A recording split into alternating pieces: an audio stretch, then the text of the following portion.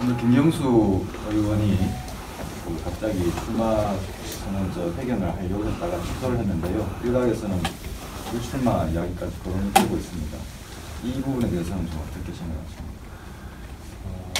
저도 그 매우 안타깝게 지금 생각하고 있고 어, 김경수 후보도 경남에 훌륭한 또 자원이고 어, 이런 어, 댓글 조작 그 사건의 그 중심의 소용돌이에 거론되고 있다는 게참 어, 저도 놀랍고 어, 그 마음이 안타깝습니다.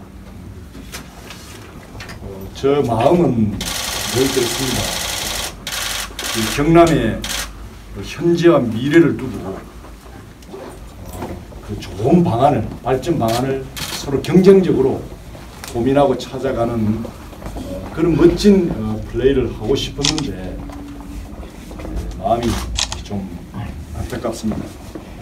그리고 저는 초심으로 또 지금 현재 경남을 지키고 또 살리겠다는 각오로 출마했더니만큼 더 열심히 어, 현장을 누비고 우리 경남의 문제를 찾아서 또 지혜로운 답을 찾아가는데 제 모든 것을 마치겠다는 각오를 다시 한번 다집니다.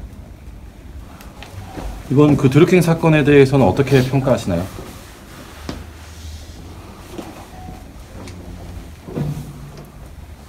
어, 사실 그 지금 대선 전까지 거슬러 올라가는데 어, 상당히 그 충격적이다 저는 그렇게 보고 있습니다. 어, 여론이라는 것이 자유민주주의 국가에서 어, 진정한 어, 주권자라는 말이 있는데 이 국민의 어떤 그 집단적 지혜가 담긴 이 공론, 이 여론을 어, 인위적으로 어, 왜곡시키겠다는 어, 그런 발상 자체가 어, 자유민주주의 체제, 민주주의를 위협하는 어, 가장 어, 어, 위험한 일이다.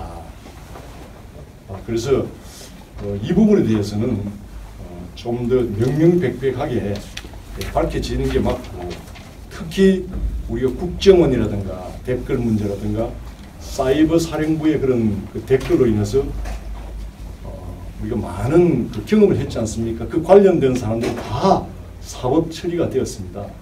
그리고 문재인 정부에서도 어, 이런 문제가 어, 민주주의를 정당성을 정면으로 부인하는 적폐 중의 적폐라고 또 그렇게 이야기했습니다.